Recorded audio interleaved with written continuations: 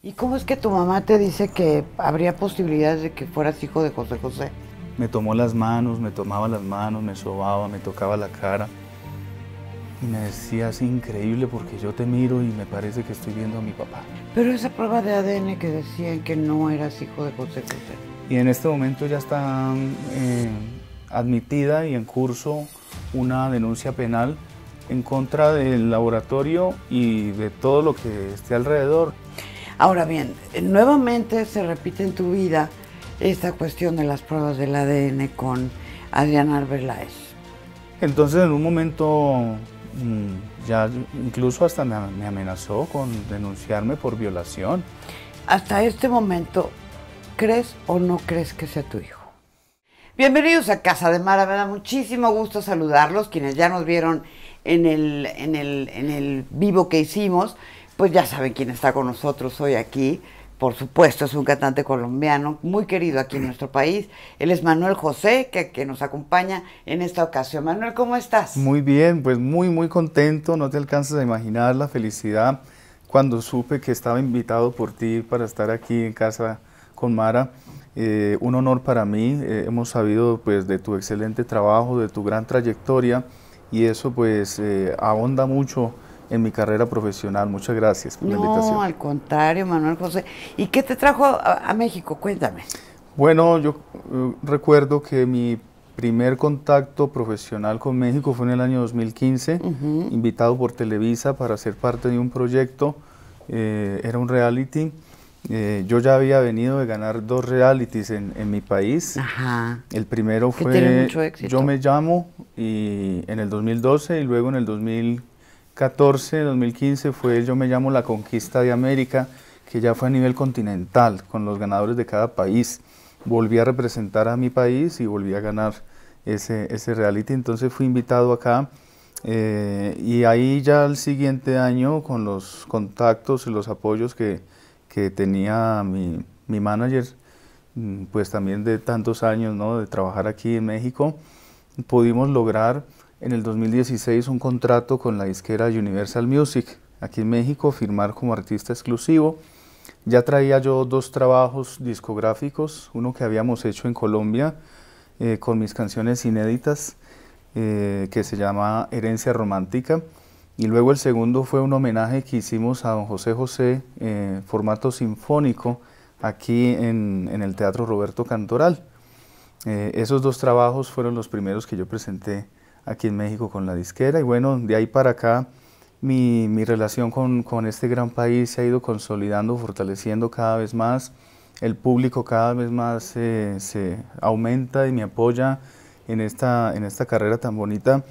Eh, los teatros han estado todos llenos en todas las ciudades donde tuvimos la oportunidad de presentarnos antes de la pandemia, porque cuando entra esta pandemia a nivel mundial, pues todo se, se retrasa, todo se interrumpe y ahorita apenas es que estamos recién nuevamente retomando pues los proyectos que teníamos. Ahora, ¿por qué te pones Manuel José si tu nombre es Brian Panier Ajá. Álvarez Rojas? ¿Por qué Manuel José? Bueno, eh, cuando yo empecé a cantar muy jovencito en mi país, eh, hubo... Estás muy jovencito, que tienes 29, ¿no? Tengo 30 años, sí.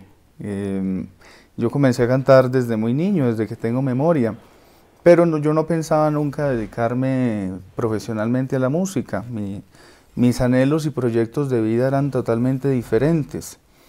Incluso yo estaba ya vinculado al, al seminario con la comunidad salesiana, iba yo a ingresar para ser sacerdote. Ándale, pues. Ese era mi, mi, mi, proyecto de vida desde muy pequeñito. Eh, pero bueno, la vida, todo, todo cambió el rumbo y me fue llevando cada vez más hacia la música, hasta que me dediqué totalmente a la, a la, a la música. Ya desde el año 2010, 2009 estoy ya en los escenarios. Y eh, me conozco en ese momento tan inicial de mi, de mi carrera con un periodista, un narrador eh, deportivo, pero muy aficionado a la música y que cuando me conoció pues me comenzó a apoyar mucho en sus programas de radio, pero un día me dice él, pero es que Brian no es un nombre artístico, ¿por qué no, no buscamos un nombre artístico que sea poco más sonoro, más llamativo? Entonces Pues yo le dije, sí, está bien. Entonces a la semana él me llama y me dice, ¿qué te parece Manuel José? Y yo le dije, bueno, está, está bonito, ¿no? Está bonita la combinación, me gusta, aparte que no hay otro artista, pues hasta ahora que, que se llamara Manuel José. Mm, entonces adopto ese nombre como mi nombre artístico, pero lo curioso es que cuando le comento a mi mamá que ya tenía nombre artístico, con esa emoción, ella se sorprende y me dice las cosas de, de Dios. El hermano menor de ella, que ya había fallecido hace muchos años, un tío mío que eh, creo que ni alcancé a conocer, se llamaba Manuel José. Y ella en algún momento, cuando me estaba buscando nombre, pensó en colocarme ese nombre. Pero bueno, se decidió por Brian y, y la vida de todas formas, Dios acomodó las cosas para que llevara este, este nombre que ya me acompaña ya hace tantos años, eh, prácticamente desde que tengo 18, 18, 10, sí, más o menos 18 años estoy con mi nombre artístico. ¿Y cómo es que tu mamá te dice que habría posibilidades de que fueras hijo de José José?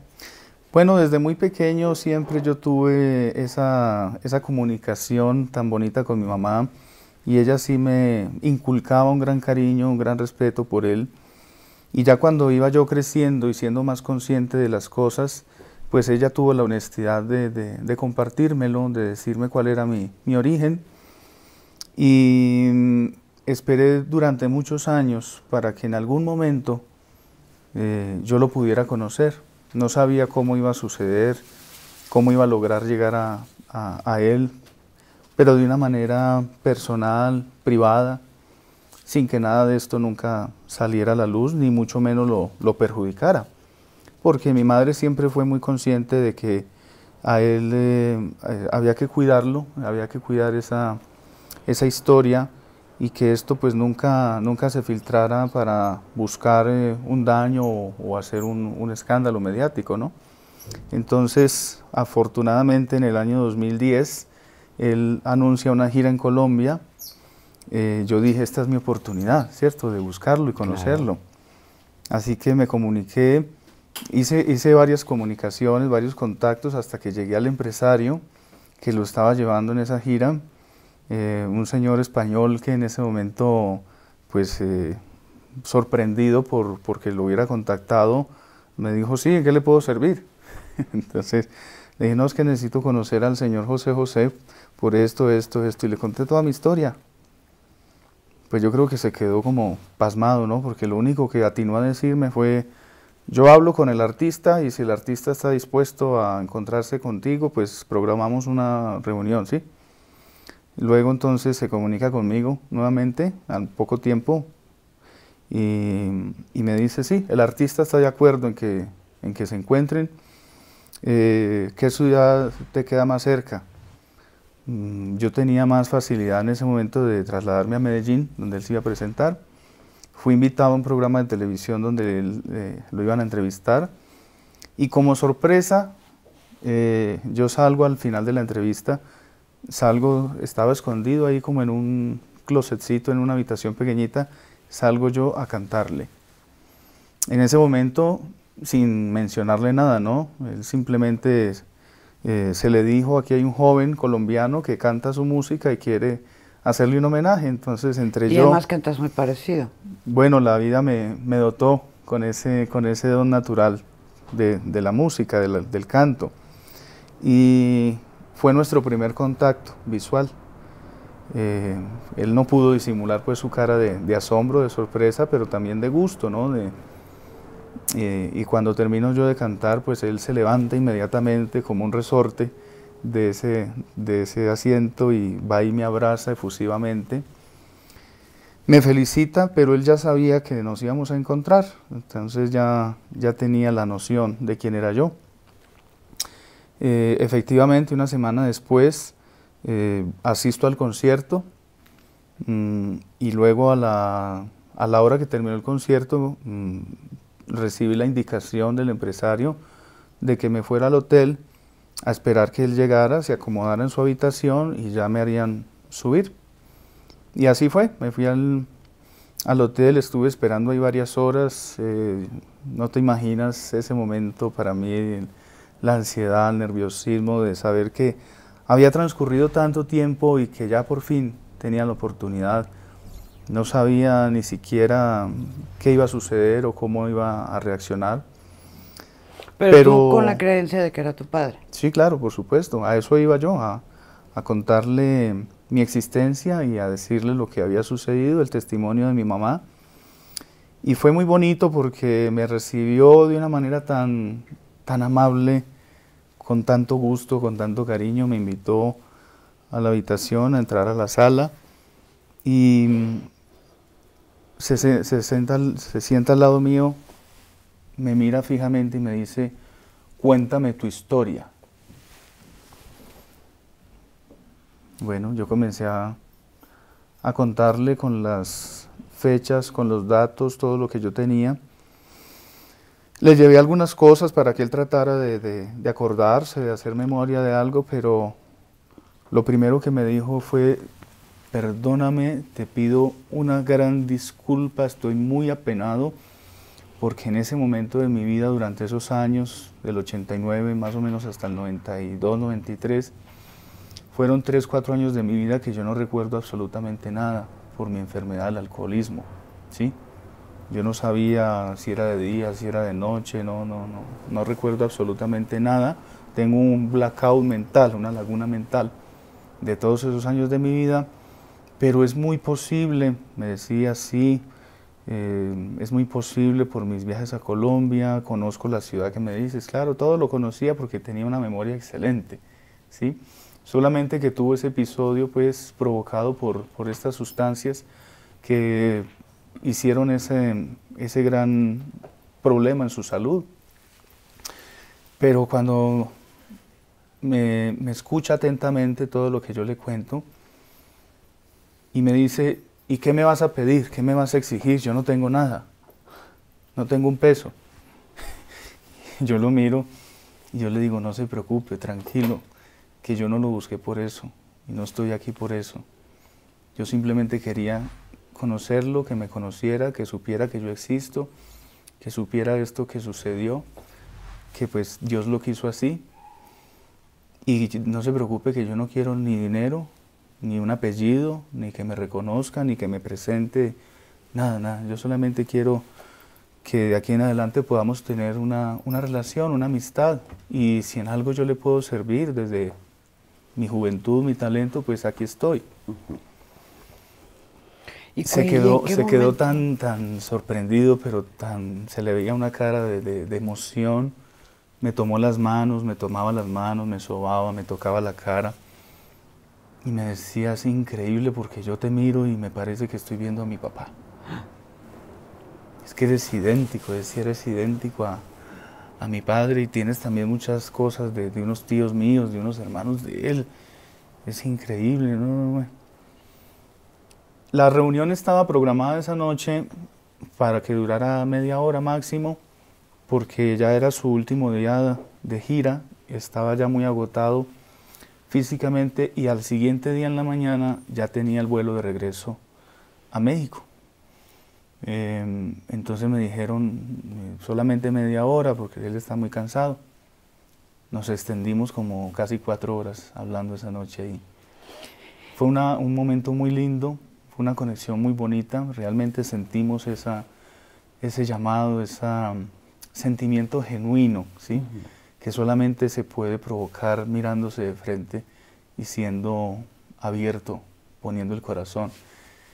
Y de ahí en adelante él me dijo, mm, vamos a manejar esto en discreción, eh, yo lo voy a ir solucionando, ¿no? Tranquilo que vamos a recuperar todo ese tiempo que no hemos convivido. Eh, por supuesto que desde ya tienes mi, mi cariño, mi afecto, eh, cuenta con ello, bueno, me dejó sus datos, me pidió los datos míos y así. Así estuvimos ya en, en una muy bonita comunicación durante todo ese año siguiente. ¿Y en qué momento viene el ADN? Y eh, bueno, pues eh, los comentarios de sus hijos, de Marisol y de José Juan. Yo no quiero hacer referencia en este momento ni en adelante a lo que haya sucedido con su familia, ni lo que ellos hayan opinado, ni lo que hayan dicho, porque para mí pues no es vinculante, ¿sí? Aparte que mi relación era directamente con, él, yo no tengo nada que ver con ellos. Y no nos, no nos ah, conocemos, eh, han habido muchas declaraciones muy innecesarias porque se han sentido amenazados, se han sentido en, en, peligro. Y nunca ha sido para mí eh, eh, objetivo de, de, mezclarme en la vida de nadie. Mi principal objetivo eh, ha sido cantar, demostrar que tengo un talento natural que Dios me concedió, hacer una carrera profesional con mi propia voz, con mi propio estilo. Y, y ese tema que se hizo público en su momento, porque él lo decidió hacerlo público, eh, me ha venido acompañando hasta el día de hoy, pero sin la convicción de que ese tema sea el que eh, sea mm, importante o genere el desarrollo de mi carrera. No, eso no tiene nada que ver. Incluso para mí, si los medios me lo permiten, ese tema queda totalmente en la, en la reserva personal, queda dentro de mi corazón.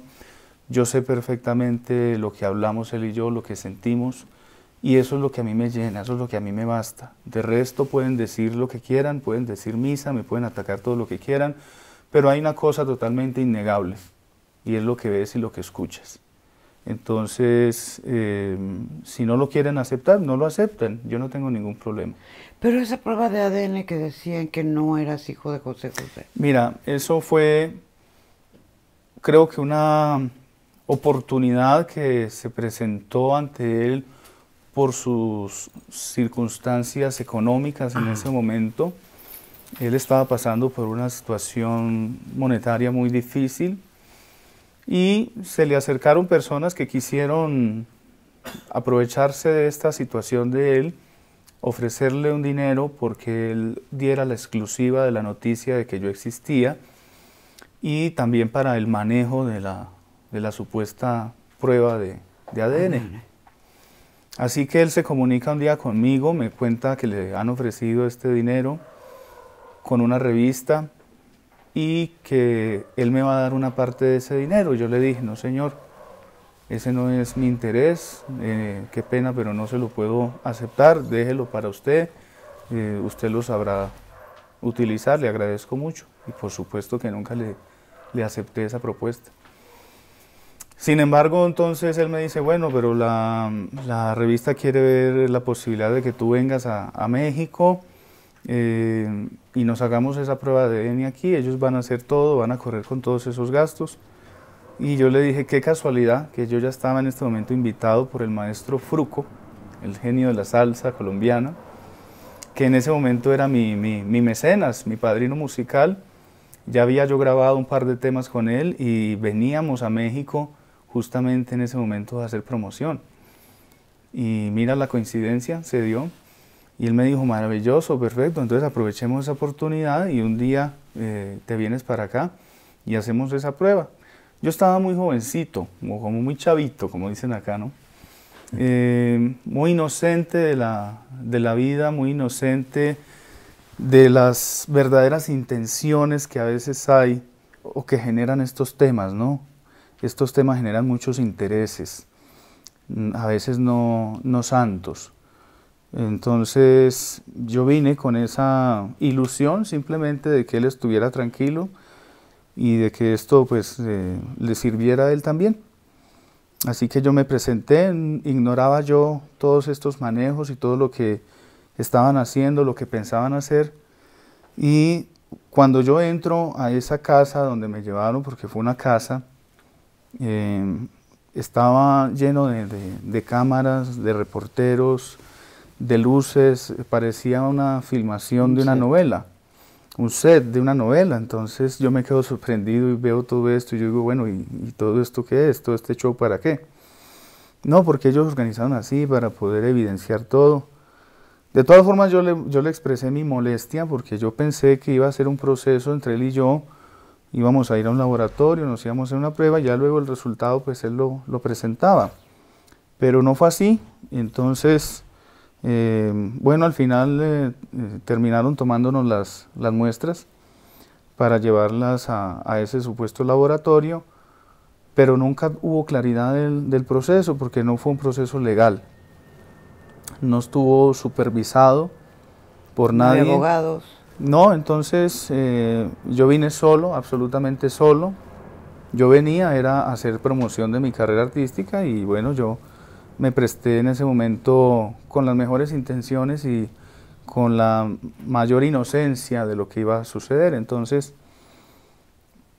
pasaron seis semanas, mes y medio, yo ya estaba de regreso en Colombia, cuando un día salen los titulares de los programas de farándula de que había salido negativa la, la prueba entre José José y yo, pero a mí nunca se me había sido informado nada. Entonces yo me comunico con él, le pregunto qué pasó, por qué nunca se, se habían comunicado conmigo. Eh, y él me dice, no, Manuelito, tranquilo, esto fue lo que salió ahorita, pero no te preocupes, eso no, no, no, no va a cambiar nada.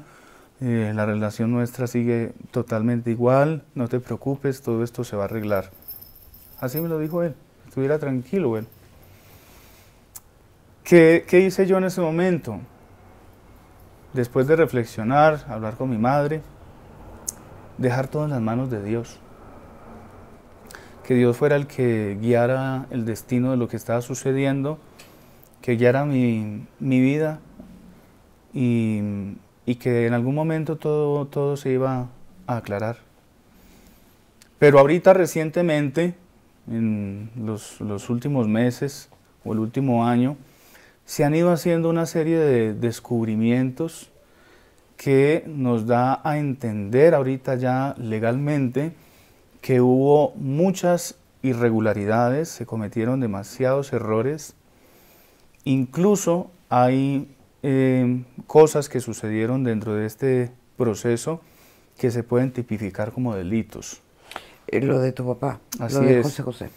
Y en este momento ya está eh, admitida y en curso una denuncia penal en contra del laboratorio y de todo lo que esté alrededor, ¿no? Porque pues el objetivo de esa denuncia, que no fue interpuesta por mí, yo simplemente me enteré y fui citado por la Fiscalía, por el Ministerio Público que se va a encargar de, de hacer esa investigación para vincularme como testigo y como posible víctima pues, de lo que fue este, este fraude.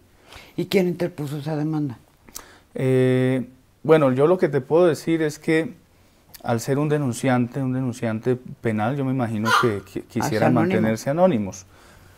Pero cualquier ciudadano mexicano está en la obligación del derecho internacional de que si está evidenciando, descubriendo que hay un posible delito, denunciarlo. Lo puede hacer cualquiera. Ah, Entonces, eh, fue presentada esa denuncia, ya ayer me citaron para que fuera a vincularme ya en el proceso, un proceso que está iniciando, que va a ser lo, que tenga que investigar y, llegar hasta, hasta el descubrimiento de esa verdad. Ahora bien, nuevamente se repite en tu vida esta cuestión de las pruebas del ADN con Adriana Arbeláez. Sí. Eh, ¿Cuándo la conoces? Pero tiene muchos años de conocerse tuvieron una relación formal, eh, porque dudabas de, de, que si fuera tu hijo o no, y, y, los resultados que salieron recientemente indican que sí es tu hijo. Sí, mira, yo conocí a la señora en Colombia en el año 2015, en diciembre. ¿Por qué más grande que tú? Sí. Yo ¿Te gustan las grandes? Yo ignoraba eso. ¿Será que también es herencia? Pues yo creo que sí, pues iba decir como 41, ¿no? Más o menos. Sí, me tocaba mí mi, mi propia Kiki. Pero bueno, eh, yo ignoraba eso también. Igual ella se, se veía muy bien, eh, eh, no, no demostraba nunca su edad y aparte que siempre la, la mintió, porque a mí me decía que tenía otra edad mucho menor de lo que realmente era.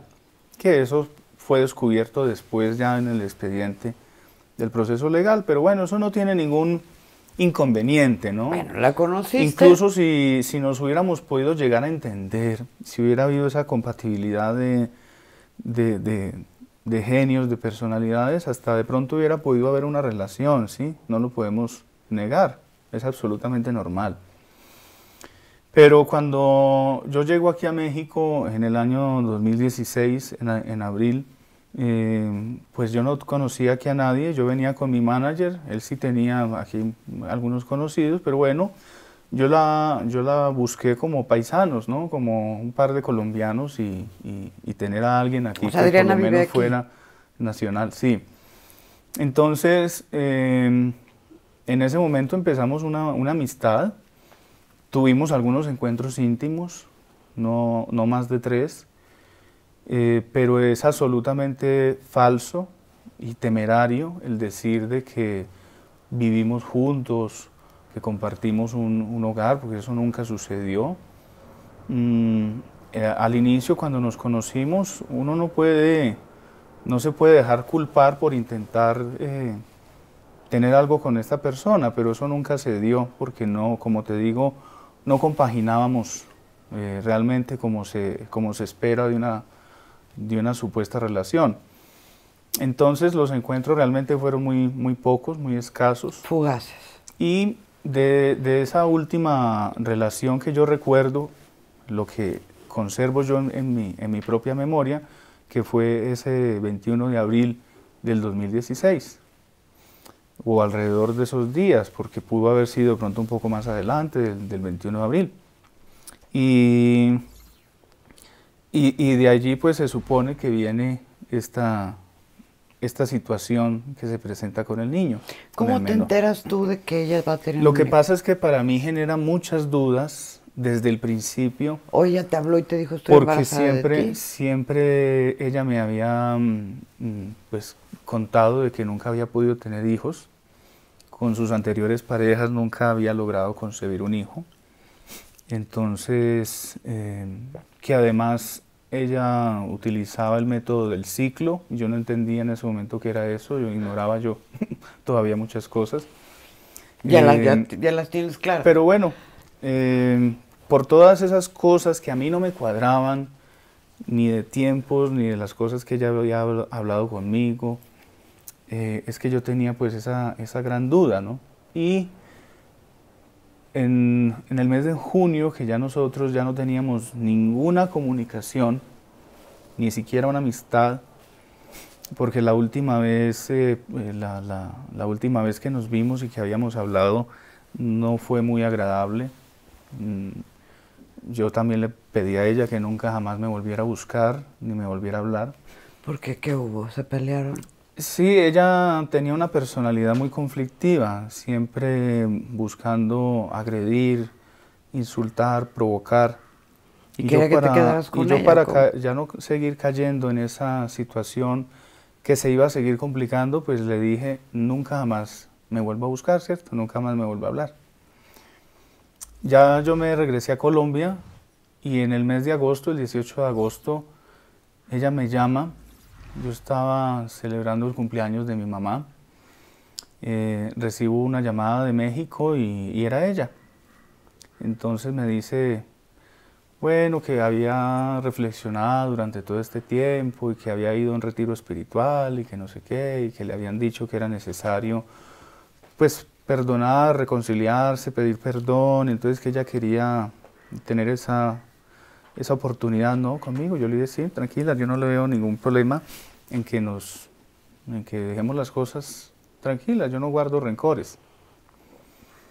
Y ya luego de eso me dice, eh, recuerda que yo me iba a ir a trabajar en una empresa a, Corea, yo no sé dónde. Eh, yo le dije, sí. Me dijo, pues que me mandaron a hacer unos exámenes y entre todas esas pruebas, pues una prueba de embarazo y resulta que estoy embarazada. Y yo, ajá, ¿y qué? No, porque tengo tres meses de embarazo. Y yo, ajá, ¿y qué? No, pues que es tuyo. Y a mí en ese momento, pues no, no, no, me cuadró. En ese momento fue una, una noticia pues impactante porque ya llevábamos mucho tiempo distanciados. Eh, ella siempre me había negado la posibilidad de que pudiera tener un hijo la última vez que habíamos estado juntos, yo para evitar cualquier, cualquier irresponsabilidad que hubiera sucedido en ese momento, eh, le sugerí que se tomara la pastilla post-day, la del día después, pero fue recientemente, ¿no? Y, ella no, no, accedió porque supuestamente su ginecólogo le decía que no, que no se tomara eso, que incluso un día me lo puso en altavoz, en el teléfono, a su supuesto ginecólogo, y él le dice, no, no, no, no se vaya a tomar esa pastilla porque eso la, desordena, eso la, le afecta, ¿no? Tranquila que usted no puede quedar embarazada. no, se preocupe. A ver, esa es, esa es una, un suceso ya muy, muy íntimo, ¿no? Porque yo conté lo que sucedió ese día, pero fue muy mal interpretado. Pero fue así. Mm, ella un día llega al apartamento donde yo estaba quedándome, donde estaba viviendo. Mm, me hizo preparar una comida colombiana que ella me llevó, lo que llamamos una picada con carne. Y me llevó también a regalar una botella de aguardiente. Entonces... Mm, Pero el aguardiente de, Colombia es diferente al aguardiente de aquí. Sí, claro, por supuesto, era un aguardiente colombiano. Sí. Bueno, tú lo, me imagino que lo probaste, ¿no? Claro, con azúcar y sin azúcar. Exacto. Y ella no tomó esa, esa, en ese momento porque ella estaba conduciendo, fue lo que me dijo. Yo sí tomé y y creo que ya estando bajo unos eh, bastantes efectos de ese, de ese alcohol, eh, es cuando sucede esta situación íntima y no recuerdo mucho de, de, ese, de ese momento. Sin embargo, por, por esa precaución, el siguiente día pues yo le sugerí ah, lo de la pastilla, cosa que pues realmente nunca, nunca accedió, nunca se la tomó, no sé, y ya cuando terminamos cualquier comunicación, pues cuando yo me regreso a Colombia ya en ese mes de junio, ella me llama a contarme eso. Entonces, ¿cuál fue mi respuesta? Yo le dije, mira, a mí se me hace realmente muy, muy extraño, esto es muy raro y no me esperaba yo nunca una noticia así. Yo le dije, mira, esperemos que nazca y si es, y si es mi hijo y si vemos que es mi hijo, pues toca asumirlo, ¿no? Pues ya, ya qué hacemos ella me dice, bueno, quería tener esa, esa versión de usted, ¿no? Saber su reacción. Eh, pero de ahí en adelante se comienza a hacer todo cada vez más complicado, más tormentoso. Ella con unas eh, muy grandes exigencias de dinero mm, que a mí se me hacían pues también muy, muy desbordantes.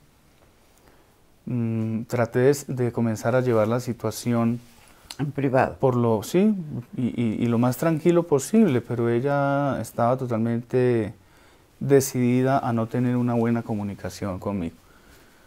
Entonces en un momento mm, ya incluso hasta me, amenazó con denunciarme por violación. Eso es muy grave. Entonces yo dije, pero ya, ya, ya rebasó sus límites de cordura. Y, ante todas esas situaciones así tan difíciles de manejar, lo que decidí fue ya no tener ningún contacto con ella. Y que si en algún momento me llegaba una solicitud para hacernos la prueba de ADN, pues yo la iba a hacer, pero ya no era posible hacerlo dialogadamente. ¿no? Por las buenas, digamos. Entonces, eh, así fue durante todo este tiempo, muy tormentoso toda esta situación, eh, hasta que el año pasado, en el mes de marzo, los primeros días del mes de marzo, yo la, ya la, busqué, la llamé y la cité en la Plaza de las Estrellas, es una plaza pública, para que nos reuniéramos con el interés, con el afán de solucionar esta situación ya de una vez por todas. Entonces nos sentamos y yo le pregunto, bueno, cuéntame qué, qué es lo que quieres, qué hacemos, ¿sí? Entonces ella me dice, no, pues yo quiero que se haga la prueba con el niño. ¿Qué edad tiene el niño ahora? Ahorita tiene cuatro años.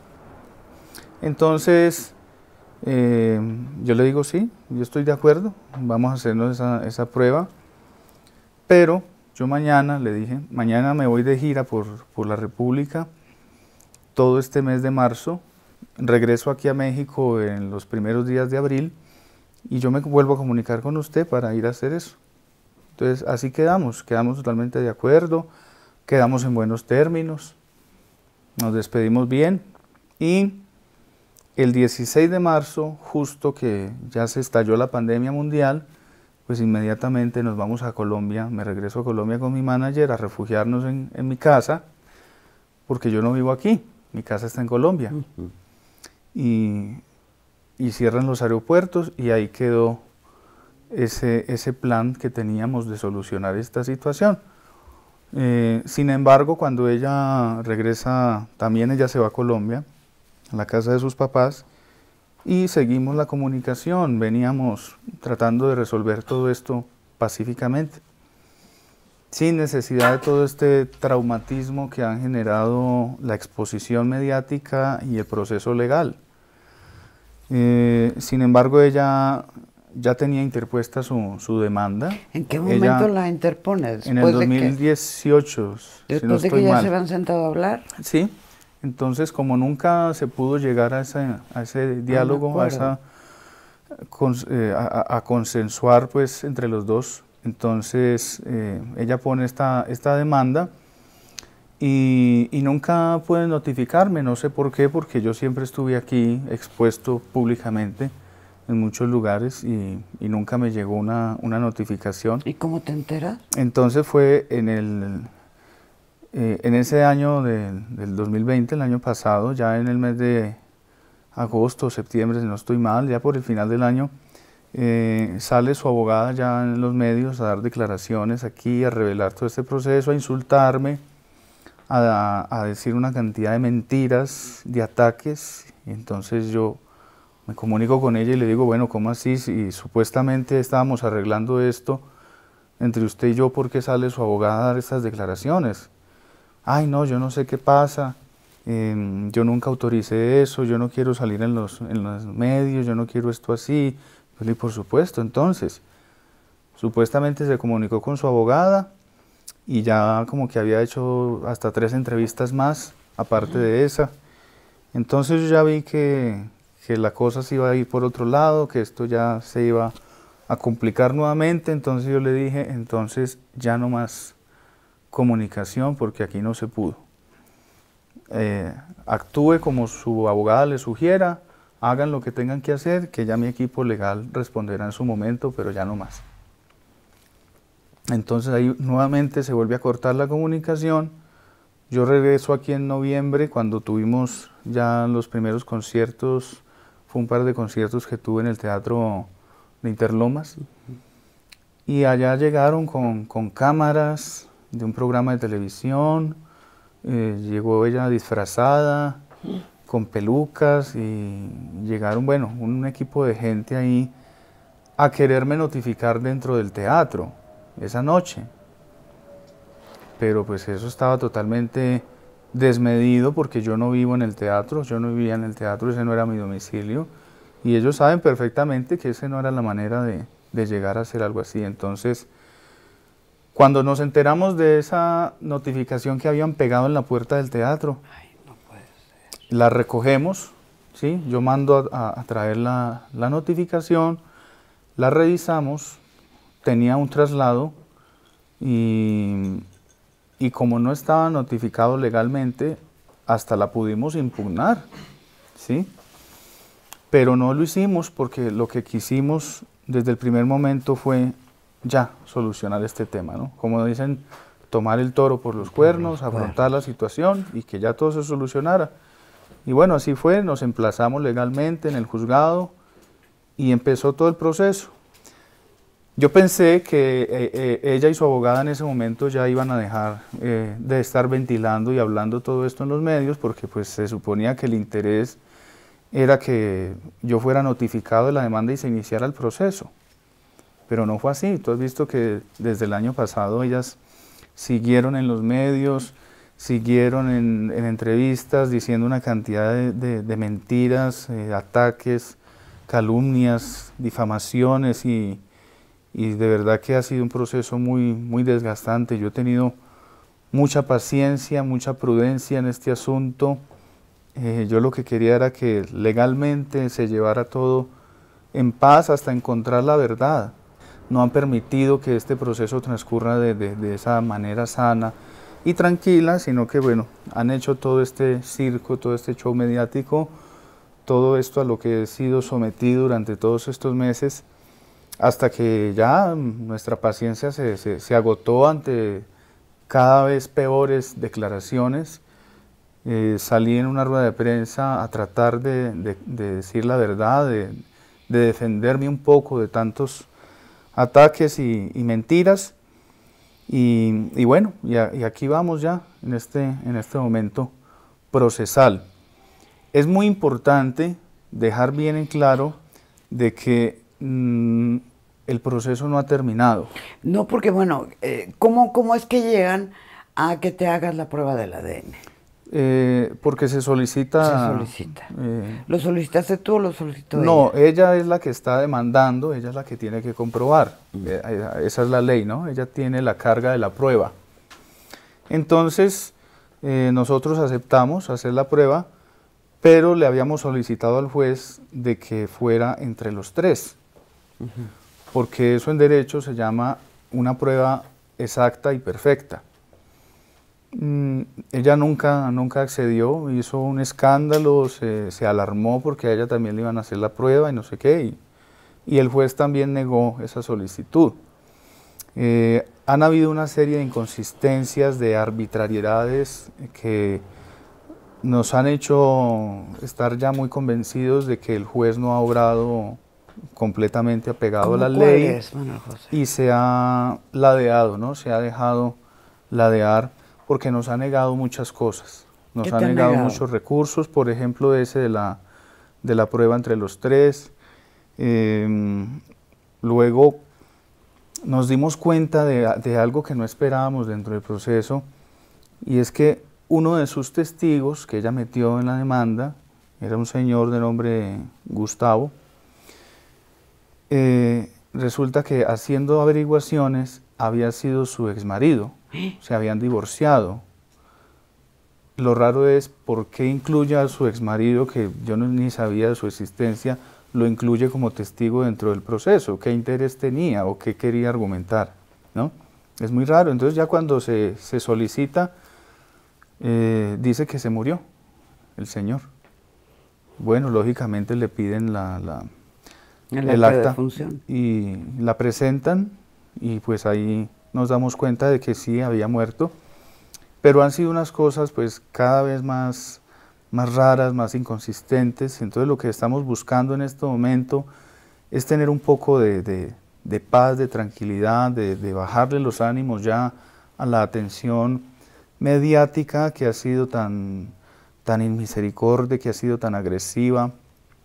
Brutalmente he sido atacado en mi, en mi dignidad humana, en mis derechos, en los derechos a mi privacidad, a mi vida íntima, a, tener un debido proceso. ¿sí? Entonces, em, ahorita que ya salió este, se abrió el resultado de este sobre, mm, los abogados son los que tienen en este momento pues el manejo, ¿no? Y los que nos van a poder dar la certeza de, esto, pues van a ser las, la sentencia del juez, ¿no?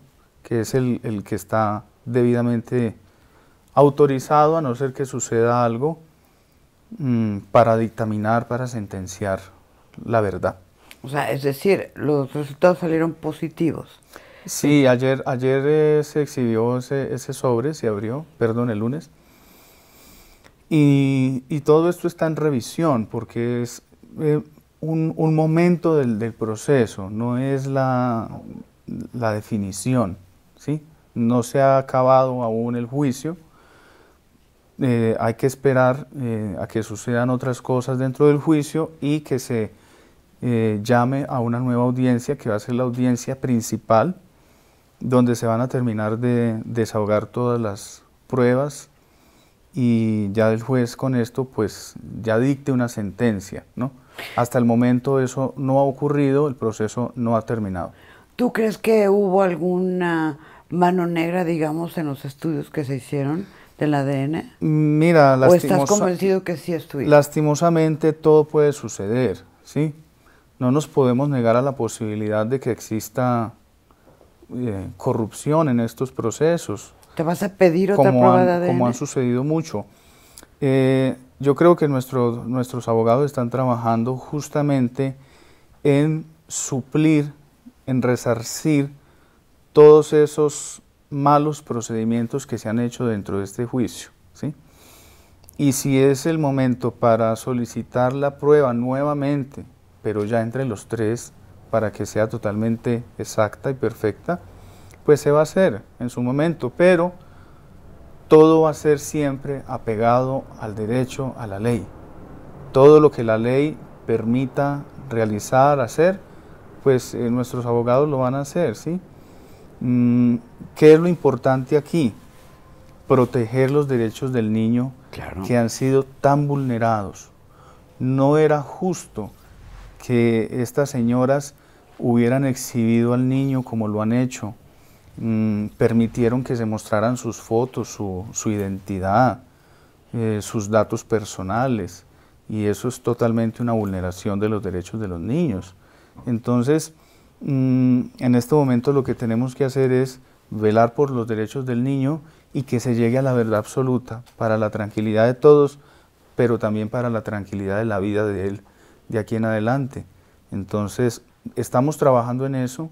No es un tema mediático, no es un tema que tenga que estarse litigando en los medios. Definitivamente. sí, no, no, no. Y, y, el que tiene la capacidad, te digo, y la autoridad para dictar una sentencia es el juez, no los medios, no los periodistas, y lastimosamente eh, nuestro público eh, ha sido sometido también a muchos engaños, a muchas mentiras, entonces no es, no es justo que esto suceda de esta manera.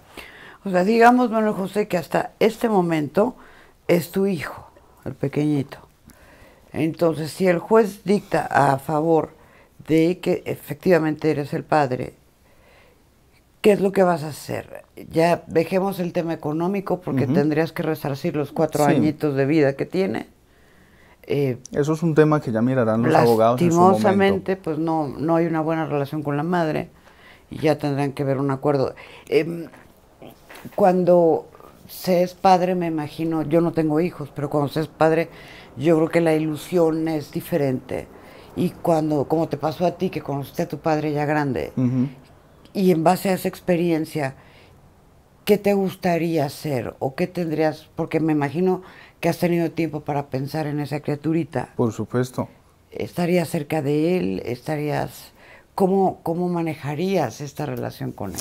Eso sería lo siguiente, el paso, el paso siguiente después de que ya se termine de, aclarar y demostrar la verdad. Si el niño efectivamente es mi hijo, por supuesto que yo voy a ser el más interesado en que el niño esté en óptimas condiciones. ¿Le darías que tu apellido? Tenga, sí, claro, por supuesto, porque es lo que corresponde en que tenga un, excelente desarrollo en todos los aspectos. ¿sí? Yo estaría eh, encantadísimo de poder velar por, el bienestar del niño, que es una criatura inocente que han sometido a todo este proceso innecesariamente, a este proceso mediático, que no tenía por qué ser así, pero bueno, si eso es lo que prosigue, vamos a ver, eh, yo estaría en el en la idea de apartarlo de, todo esto que, ha ido sucediendo alrededor de él, de proteger sus derechos, por supuesto. Hasta este momento, ¿crees o no crees que sea tu hijo? ¿Lo eh, conoces? Mm, solamente el día de la toma de, muestras. Sí. No, no tuvimos la, la, oportunidad, es un momento... Además es un momento complicado. sí, es un momento difícil. Pero hasta hoy crees o no crees que sea tu hijo. Yo creo que esto no, pienso de que esto no es de, de, creencias. De sentirlo. Sí. Eh, y tampoco nunca me he negado a esa posibilidad, porque yo lo, he dicho muy claramente, abiertamente, de que no me excluyo de la posibilidad de que el niño sí sea mi hijo. Y, si es así, pues es una bendición, es una maravilla, ¿no? Voy a tener incluso un compañero de vida.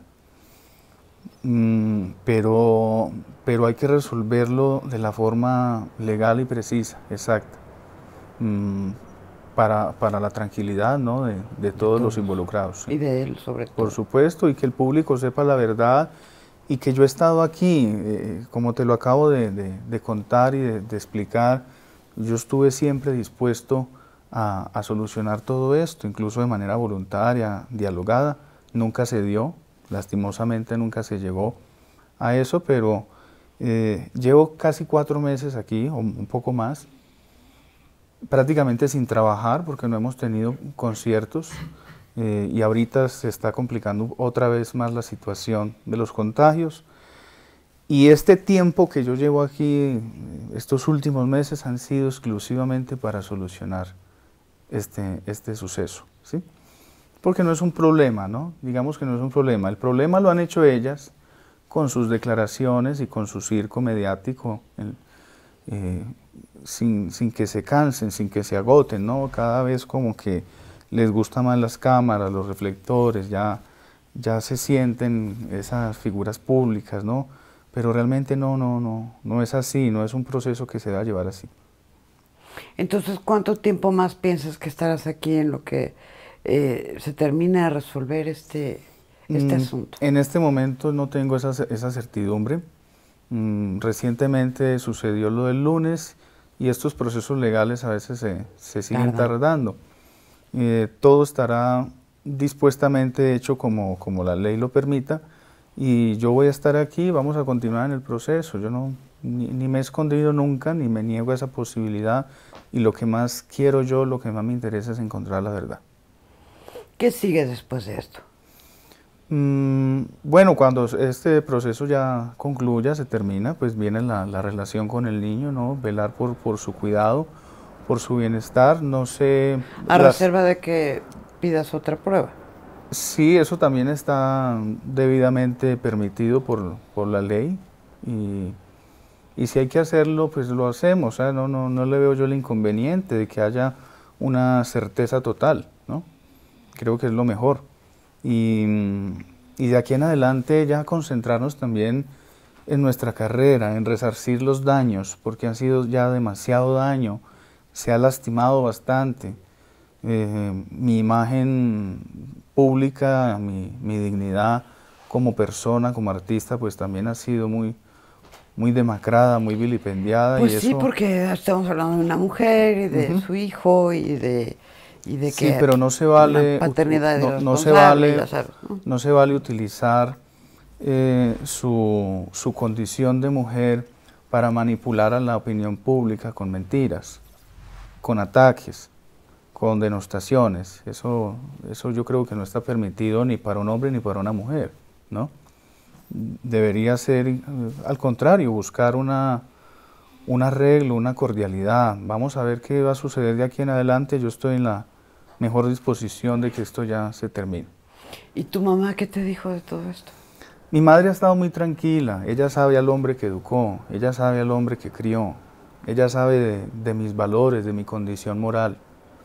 Entonces ella simplemente me ha estado acompañando, ahorita lastimosamente desde la distancia. Eh, son los sacrificios que uno tiene que hacer también en este, en este desarrollo artístico, separarse de su hogar, de su madre, de todo lo que implica ser un artista, pero bueno, mm, ella también es una mujer de gran fe, de gran fortaleza, y eso a mí me ha fortalecido mucho porque todos los días estamos en constante oración, todos los días estamos pidiéndole a Dios que toda esta situación se calme y podamos saber la verdad. Pues que así sea. Sí. Que así sea, Manuel José. Pues algo que quieras agregar. Y así será. y así será, porque mm, yo quiero pedirles también a todos que tengan la certeza de que siempre van a saber de mí la verdad. En el momento en que ya tengamos esa, esa verdad eh, irrefutable, pues aquí, aquí estaré yo compartiéndola con ustedes. Y que Manuel José es un artista, Brian es el hombre, ¿no? el ser humano, eh, que es el que está afrontando esta situación y es el que la está solucionando. Y Manuel José pues es el que Dios dotó de, de este talento, de esta voz para poderles cantar y poderles transmitir.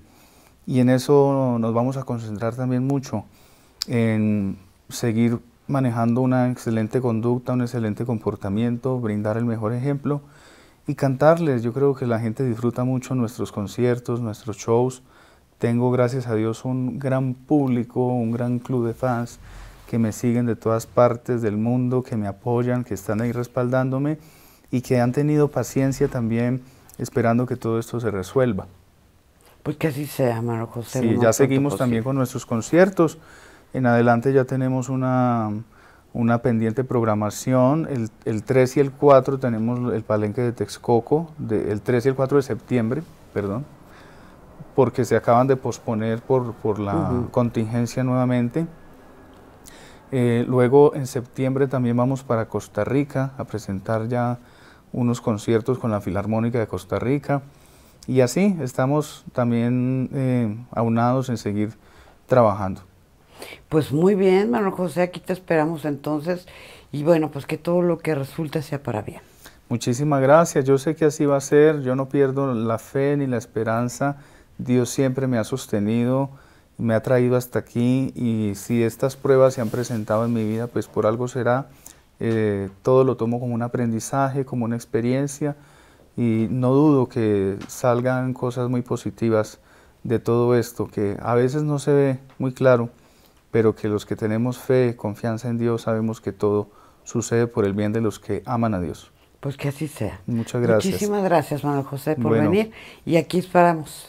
No, a ti muchísimas gracias nuevamente, reiterarte mi, mi, mi admiración, si antes sin conocerte te admiraba ahorita muchísimo más y también me da mucho gusto poderme incluir entre las personas que tienen ese gran gusto de conocerte, platicar contigo.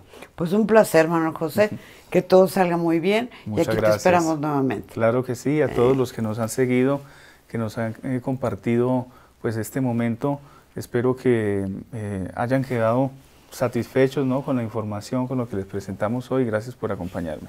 Muchísimas gracias por estar con nosotros. Les mandamos un beso. Manuel José, aquí en Casa de Mara. Gracias. Hasta la próxima. Chao, gracias. Bien, Alisson. É